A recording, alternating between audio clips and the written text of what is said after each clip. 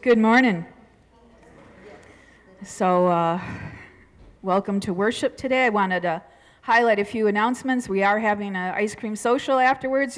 You probably walked by the tables that Karen set up so nicely with uh, with uh, little cute watermelon napkins and stuff. So join us for that. Big thank you to Jackie Hull for the uh, the I'm assuming the that she provided those beautiful petunia flower baskets and Pat McCall for all her work in the garden, weeding, and Todd Southers for watering, and, and a big thank you to Ira Neubauer and, and uh, Jerry Ward for all the painting and staining, and they've been doing on the ramp, the back staircase, uh, doorways, office entryways, and uh, Jerry's two grandsons, uh, JJ and Brad, have been helping with some of that recent work. And, and so we welcome you all to worship. Uh, what else was I going to highlight? Oh, the fact that Carol is on the organ, or not on the organ, I should say, but on the keyboard. Uh, Ira and Jim figured out that it was that the noise that you were hearing last week was probably a stuck C or a D in the upper reaches of the organ, and we want to keep our organ guy, Chris, his wife had emergency surgery on, on her liver, so we're not sure when he'll be, uh, that, uh, they were on vacation, we're not sure when he's going to be able to get to it. But in the meantime, Carol will be playing the keyboard while we await the, um, the fixing of that problem. Um, so uh, that's why she's there. With that, I'm going to turn it over to uh, Carol um, as we start our time of worship with some music to lift our hearts to God.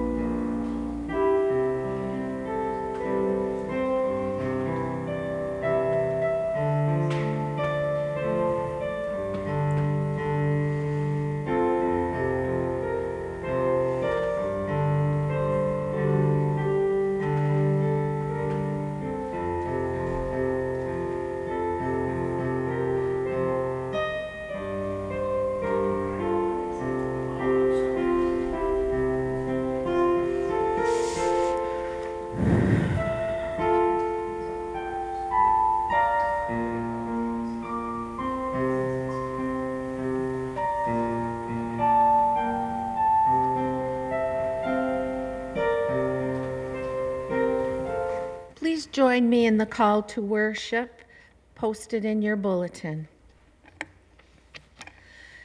To the saints who are faithful in, in Christ Jesus, grace and peace be upon you from God and our Savior Jesus Christ.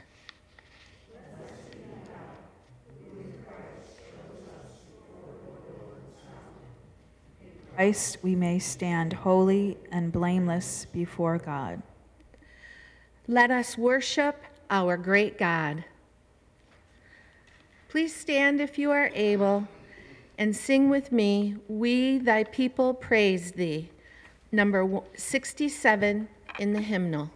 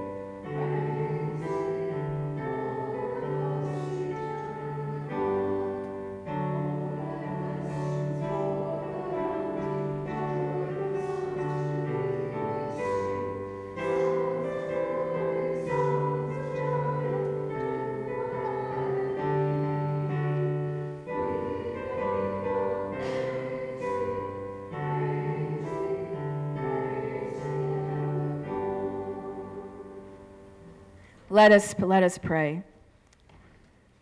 Gracious God, we give you thanks for this time to gather together to worship you, to quiet ourselves, to feel your presence, to hear your word, to experience your grace, to see one another and, and enjoy Christian fellowship together with our brothers and sisters in Christ. And Lord, we pray that you bless us in this hour, pour out your spirit upon us.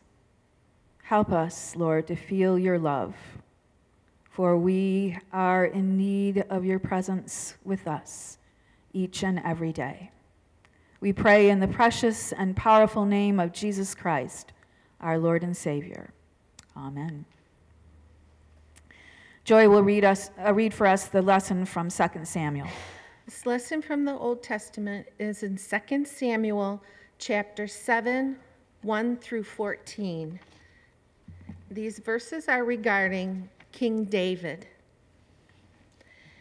After the king was settled in his palace, and the Lord had given him rest from all his enemies around him, he said to Nathan the prophet, Here I am, living in a house of cedar, while the ark of God remains in a tent. Nathan replied to the king, Whatever you have in mind, go ahead and do it, for the Lord is with you. But that night, the word of the Lord came to Nathan, saying, Go and tell my servant David, this is what the Lord says Are you the one who build me a house to dwell in? I have not dwelt in a house from the day I brought the Israelites up out of Egypt to this day. I have been moving from place to place with a tent as my dwelling. Whenever I have moved with all the Israelites, did I ever say to any of their rulers, whom I commanded to shepherd my people to Israel, Why have you not built me a house of cedar? Now then, I tell my servant David, This is what the Lord Almighty says I took you from the pasture, from tending the flock, and appointed you ruler over my people, Israel. I have been with you wherever you have gone, and I have cut all of your enemies from before you. Now I will make your name great like the names of the greatest men on earth. And I will provide a place for my people Israel and will plant them so that they can have a home of their own and no longer be disturbed. Wicked people will not oppress them anymore, as they did at the beginning and have done ever since the time I appointed leaders over my people Israel. I will also give you rest from all of your enemies. The Lord declares you that the Lord Himself will establish a house for you when your days are over and you rest with your ancestors. I will raise up your offspring to succeed you, your own flesh and blood, and I will establish His kingdom. He is the one who will build a house for my name, and I will establish the throne of his kingdom forever. I will be his father, and he will be my son. So obviously, God doesn't dwell in, in any house or, or, or, you know, even temple that hadn't yet been built that David was talking about wanting to build because the God, you know, God made heaven and earth is dwells in it dwells in it inhabits the whole universe. And but we were talking in particular, he he was talking in particular about a place where he would be worshipped, you know, with a temple at Jerusalem that was that that uh, David was proposing to build, and, and God said, Nope, you're not the guy. Your son will be. And the kingdom, the, the house that he would, there was two different uh, use of the word house to, there was the house as in a physical place of worship, and then there was the house of David, the, the lineage of David. And of course, we know our Messiah, Jesus, comes out of the line and lineage of King David. So, in that sense, that his house has been established forever, as promised by God. I turn now to uh, Mark's Gospel, to a few uh, verses from that. So the apostles gathered around Jesus and reported to him all that they had done and taught. Last week, we had Jesus sending them out two by two. And so they're returning, giving him the report. Then, because so many people were coming and going that they did not even have a chance to eat, Jesus said to them, Come with me by yourselves to a quiet place and get some rest. So they went away by themselves in a boat to a solitary place. But many who saw them leaving recognized them and ran on foot from all the towns and got there ahead of them. When Jesus landed and saw a large crowd, he had compassion on them because they were like sheep without a shepherd. So he began teaching them many things. When they had crossed over, in between this, these verses and there, Jesus then feeds them but we don't have that lesson today. So after that, when they had crossed over, they landed at Gennesaret and anchored there. As soon as they got out of the boat, people recognized Jesus. They ran through that whole region and carried the sick on mats to wherever they heard he was. And wherever he went, into villages, towns, or countryside, they placed the sick in the marketplaces. They begged him to let them touch even the edge of his cloak and all who touched it were healed. Here ends the reading from the Gospel according to Mark. I invite you to uh, remain seated and we can sing together Near to the Heart of God. Number 472 will be on the hymnal as well as um, on the screen. 472.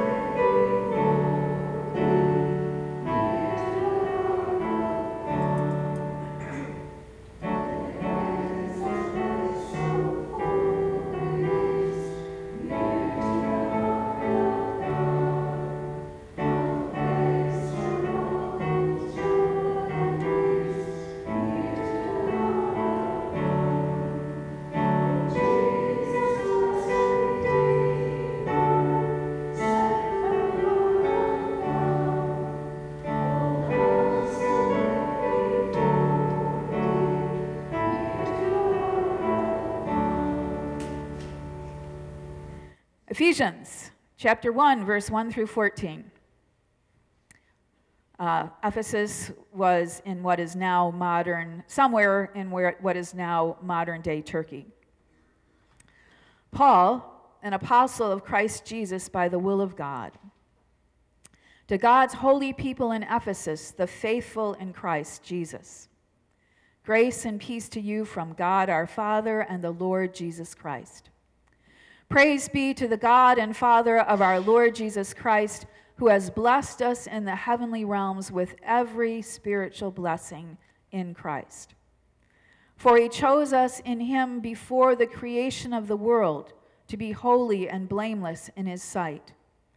In love, he predestined us for adoption to sonship through Jesus Christ, in accordance with his pleasure and will, to the praise of his glorious grace, which he has freely given us in the one he loves. In him, in Christ, we have redemption through his blood, the forgiveness of sins, in according with the riches of God's grace that he lavished on us. With all wisdom and understanding, he made known to us the mystery of his will according to his good pleasure, which he purposed in Christ, to be put into effect when the times reach their fulfillment, to bring unity to all things in heaven and on earth under Christ. In him, in Christ, we were also chosen having been predestined according to the plan of him who works out everything in conformity with the purpose of his will. And that would be referring to God. In order that we, who were the first to put our hope in Christ, might be for the praise of his glory. And you also were included in Christ when you heard the message of truth, the gospel of your salvation. When you believed, you were marked in him with a seal, the promised Holy Spirit, who is a deposit guaranteeing our inheritance until the redemption of those who are God's possession to the praise of his glory. Here ends the reading from Ephesians. So I invite you this time to stand uh, and sing with me. Uh, blessed, what? No, nothing but the blood.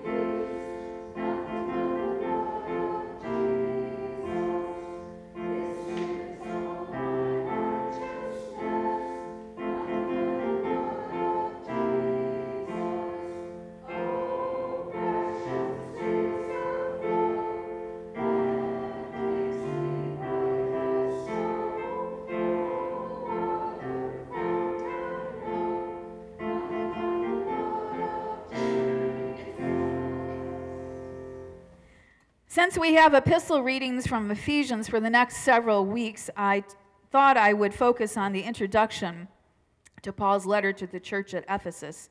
Since we are all well acquainted with Jesus' ability to heal and to cast out demons that we read about in today's gospel lesson, Paul starts his letter in the usual way by saying that he is an apostle, someone commissioned and sent by the Lord Jesus, someone who has seen Jesus and, and has been sent according to the will of God. So Paul does not write or preach on his own authority or initiative, but on the authority Jesus gave him and the charge that Jesus gave him. According to Acts chapter 19, Paul spent at least two years in Ephesus teaching and preaching the gospel to Jews and non Jews alike.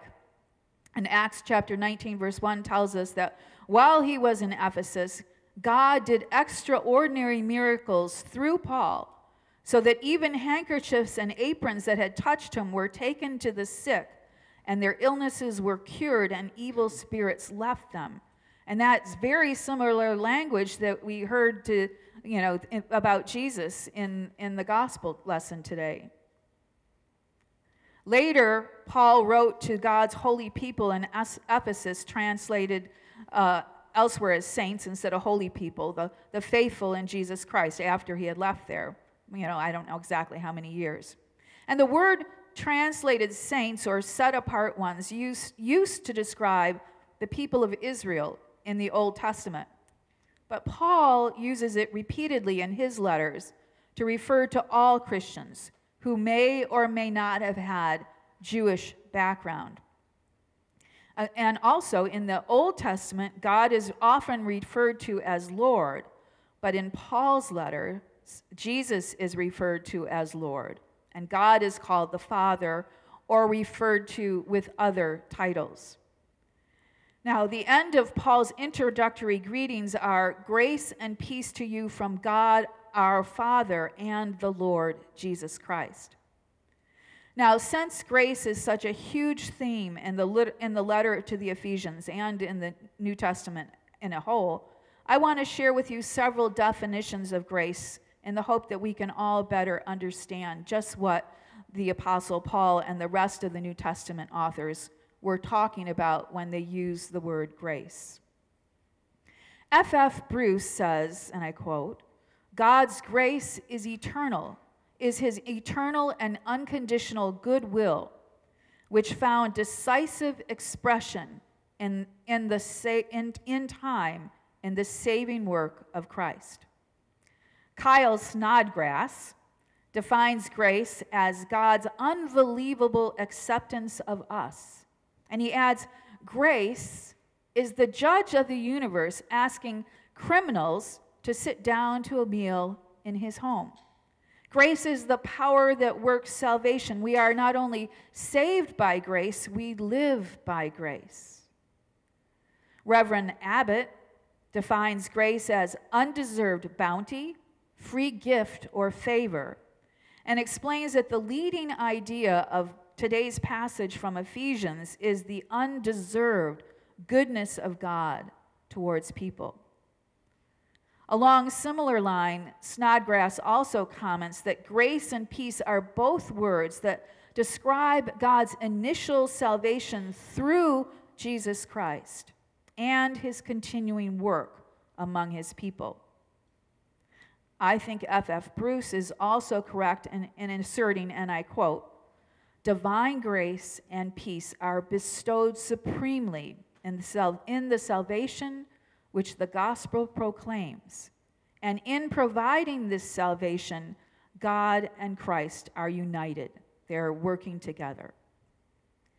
This past Friday, uh, Jim and I went to the Ann Arbor Art Fair, and there were, there were at least three to four booths uh, in a section on Liberty Street, which had all the community organizations. Uh, there were at least three or four booths of, of Muslims promoting the Muslim faith. And I went up to three, at least three of these booths to say that Jesus is Lord, and I strongly recommended to women who were at one booth, booth passing out free Korans that they read Nabeel Qureshi's book, Seeking Allah, Finding Jesus. Why did I do that? because only Jesus Christ is the Savior, not their purported Muhammad, prophet Muhammad. And according to Scripture, they will miss out on receiving God's grace and forgiveness without faith in Him. Just like the apostles' claims of Christ's deity and lordship were met with skepticism by many in his day, so were my brief declarations about Christ met. But according to Ephesians 2 8, we are saved by grace through faith, and that faith is in Jesus and not anyone else. If we or anyone else are going to be able to experience all the spiritual blessings that our good God would give us, they are only available by grace through faith in his Son, Jesus Christ, as our Lord and Savior, that faith which unites us to Jesus Christ in the body of Christ. And that's the essential truth that Paul asserted in Ephesians chapter 1 verse 3, which I'll read again. Praise be to God to the God and Father of our Lord Jesus Christ, who has blessed us in the heavenly realms with every spiritual blessing in Jesus Christ. Not in Muhammad, not in Buddha, not in Confucian, not in anyone but Jesus Christ, the Son of God, our risen Lord. Now, the Apostle Paul does not leave us into the dark as to what some of the spiritual blessings that we can enjoy as Christians are. Many of them are detailed in Ephesians chapter 1 verse 3 through 14, which in the Greek is actually just one long sentence. And those blessings include being chosen by God to be part of God's family, two, being adopted as God's sons and daughters, three, being redeemed and forgiven all our sins, four, the gift of the Holy Spirit, five, the hope of future resurrection to eternal life, six, the gospel itself, seven, the various gifts of the Holy Spirit, like those detailed in Galatians chapter 5 as you know like the love joy peace and patience goodness all these qualities of characters as well as referring to the gifts like the gift of tongues and, and the gift to heal all those kind of gifts and finally the promise of the kingdom of heaven among other things and that's quite an amazing list isn't it but but what does it mean to say that christ has blessed us in the heavenly realms with all these blessings with every blessing in Christ. Well, I needed help on this one. And so one commentator says this The heavenly realms in Ephesians are to be seen in the perspective of the age to come, which has been inaugurated by God raising Christ from the dead and exalting him to his right hand. Yet, since heaven is still also involved in this present evil age, there remains hostile powers in the heavenly realms until the consummation of the age to come. The blessings can be said to be in the heavenly realms, yet they are not viewed as treasures stored up for future appropriation, but as benefits belonging to believers now. In what God has done already in Christ, the benefits of the age to come have become a present heavenly reality for believers. End quote. Now, I've got some others for you. Reverend Abbott explains that this phrase, blessed in the heavenly realms, he explains it a bit differently. He wrote, and I quote, those spiritual blessings conferred on us create heaven within us and the scenes of divine blessing are heavenly places, for wherever the light and love of God's presence are to be enjoyed, there is heaven. That may resonate with some of you. F.F. F. Bruce explains it like this He says, The heavenly realms is the realms to which Christ has been raised and to which his people, united by faith in him, have been raised with him.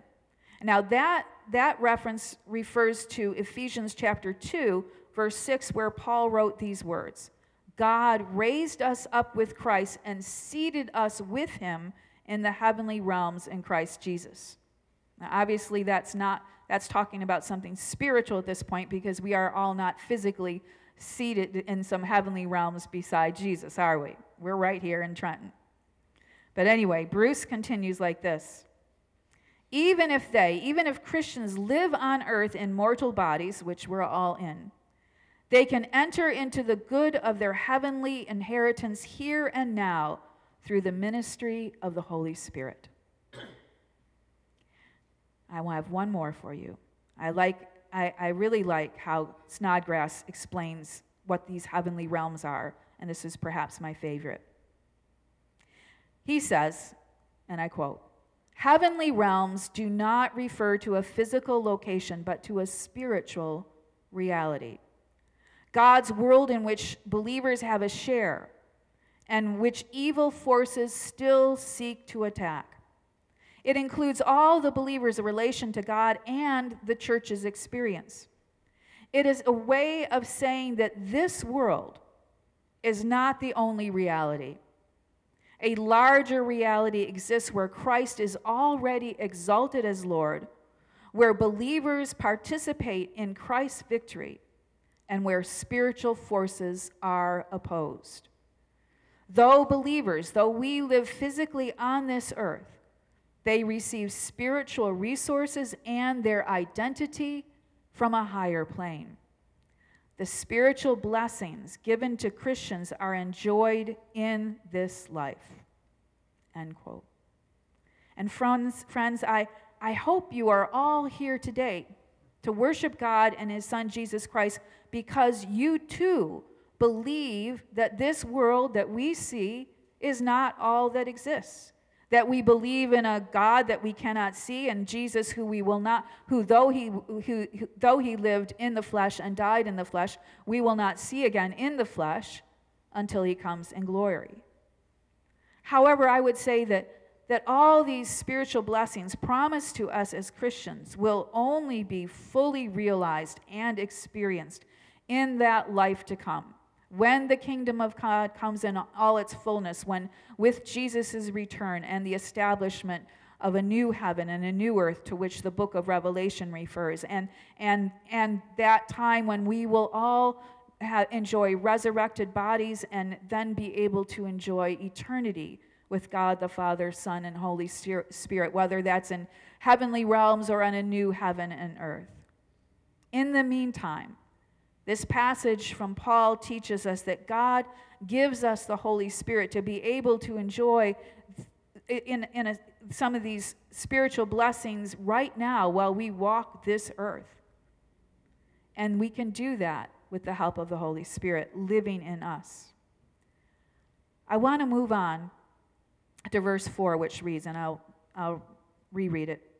It says, For God, for He, referring to God, chose us in Him Christ, before the creation of the world, to be holy and blameless in his sight. Now, folks, theolo- theologians have argued for centuries about what that sentence means. Some theologians, particularly those of the Calvinist persuasion, for example, think that God picks and chooses individual people to be saved and others to be damned before even the world began, or before, before even their lives began. I much prefer it how someone else understands it. He wrote, and I quote Here, what is chiefly in view is not the fact of selection, not the fact of, of God picking a person or not, but the end for which the choice was made, which was so that we could be found blameless and holy in God's sight. Abbott argues that, quote, the election or the choosing of people, that's what the term, the theological term election means, the choosing of people is an act that is repeated whenever the call is heard. God, before the, before the creation of the world, formed the plan of saving all sinners in Christ. The condition of faith is implicitly contained. Every man or woman who accepts the call is chosen or elect. End quote. Now, the quote that he is, the call that he is talking about, I believe, is the call to repent and believe in the gospel and place our faith in Christ as our Lord and Savior. When a person does that, they become a part of the chosen or the elect. Yet God also is involved in helping us to come to faith in Him. So it's a complicated issue, theologically speaking, and I'm going to leave it there for now. Anyway, I don't believe that we will ever be holy and blameless in God's sight on our own on our own power in this life or in the next, nor does the Bible. Remember Paul wrote for God Paul wrote for he chose us in him before the creation of the world to be holy and blameless in him. But that does not mean that we are that we are holy and blameless on our own power. And I'll quote from one more scholar. He says the phrase holy and without blameless is never applied to our complete justification before God. People are not regarded as innocent or sinless before God, for the fault of their sin remains unaltered, but they are treated as righteous. Now, that's what the theologians talk about as imputed righteousness, where God treats us after as if we're completely righteous because we've united ourselves to faith in Christ. And because Jesus was completely righteous and sinless, then because we're united to him, God then treats us as, as righteous and sinless sons and daughters. The idea is that, that God looks at us and sees Jesus instead, that he sees Christ's holiness, that he sees Christ's sinlessness, and imputes or in, applies that sinlessness or that righteousness to us. And it's only because of what Jesus has done for us on the cross and dying for our sins that we are treated as if, just as if we had never sinned by God. We're, because we are rescued and redeemed from the power of sin by Christ's death on the cross. As we sang before this, nothing but the blood of Jesus, only his righteousness. But I do think, however, that Scripture te- teaches that the day will come when we will actually be holy and blameless before God through the process of sanctification, through the Holy Spirit make, working us to make us more like Christ. And that time will come, I believe, only in the next life, not in this. Despite, despite John Wesley's uh, doctrine of entire sanctification, where he said, well, we might be made perfect in this life, like for an instant or something. And I was like, no, no, thank you, John Wesley. That's, I don't, I don't buy that. Remember, but all this, all this is this, and, and remember that, that the purpose of our being chosen by God is ultimately so that we can enjoy perfect holiness before God and also give God praise and glory and honor for all that He is and for all that He has done for us. All those blessings are available to us through our being united with Christ in faith. As as Paul wrote in Ephesians verse 1 through 13, 1, 1 13, and you also, speaking to the Ephesians and, and to us as well, as people of faith, you also were included in Christ when you heard the message of truth, the gospel of your salvation. When you believed, you were marked with a seal, the promised Holy Spirit, who is a deposit guaranteeing our inheritance until the redemption of those who are God's possessions. In conclusion, my friends, it is always good to remind ourselves that we have received the wonderful gift of the Holy Spirit when we believed in Jesus as our Lord and Savior. And since that time, whenever it was, the Holy Spirit has been working in us to help us to be more like Jesus. Some days it seems like the Holy Spirit's doing a better job than others. Of course, we are to work with God. At the same time that we believed we were included into the family of God and adopted as God's sons and daughters, brothers and sisters to our Lord Jesus Christ, and intimately connected and united with Him in the body of Christ, the church. All of this, all of this is because God loves us deeply. And Jesus loves us so much that He died in our place to, re- to redeem us and to save us from the power of sin, death, and the devil. God worked this all out, planned this all before the world began, so that he could save us and so that we in turn could praise and glorify him as God. So let's rejoice in God and give him the worship that he deserves, and Jesus as well, each day and every day. Amen. I invite you now to stand and sing with me that wonderful hymn, Amazing Grace, number 378 in your hymnal.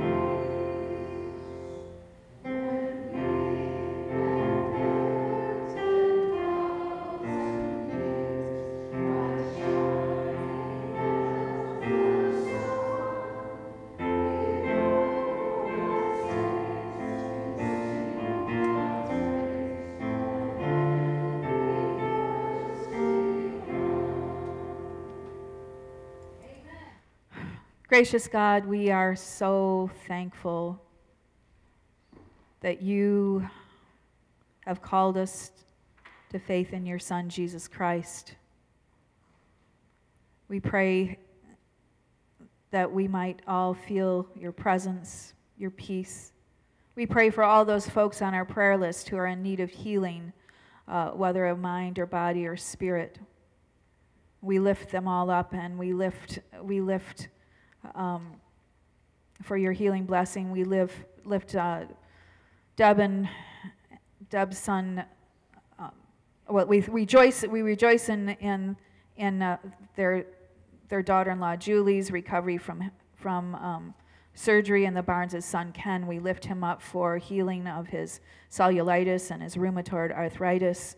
We pray for Debbie, for excuse me, for Terry's sister Debbie um, that they will get all the rest of the breast cancer on her surgery on Thursday, that you would guide the surgeon's hands, that you would um, be with her for full healing from that.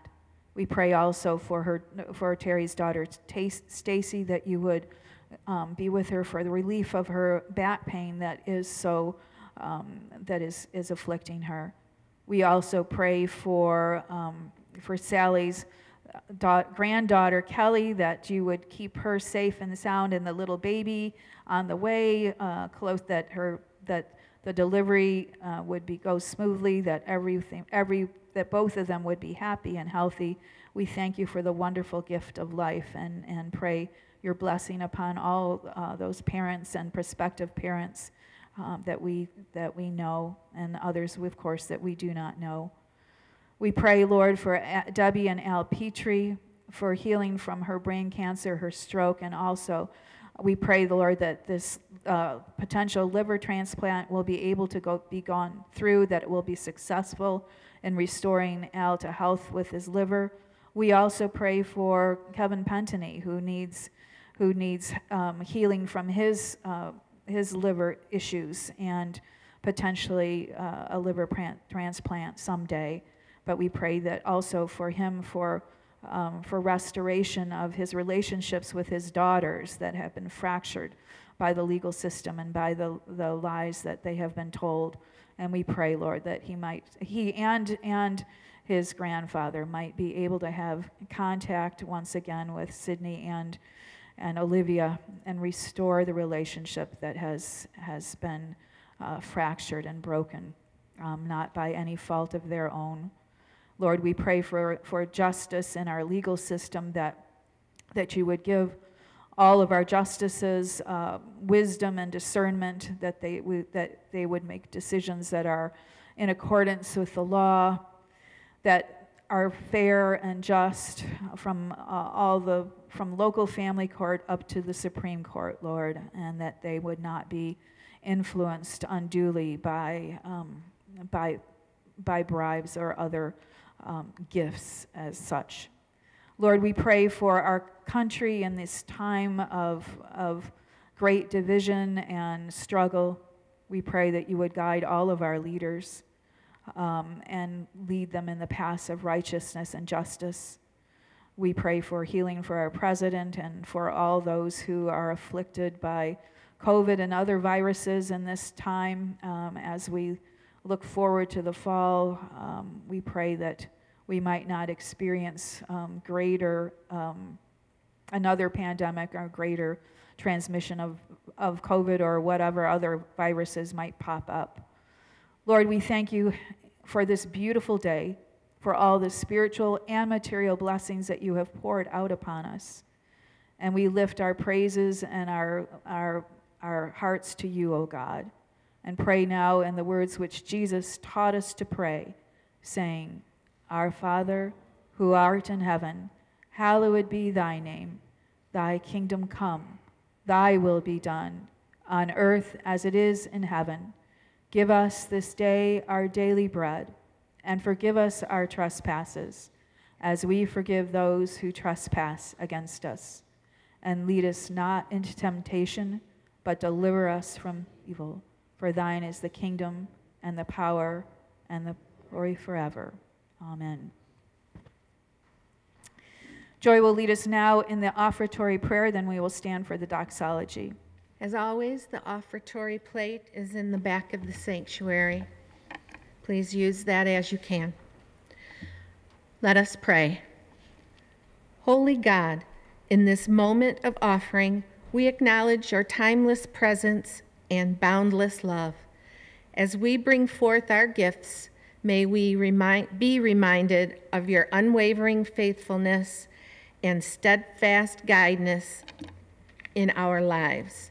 Grant us the wisdom to heed your call to worship and live out our faith and humility with humility and grace. Amen.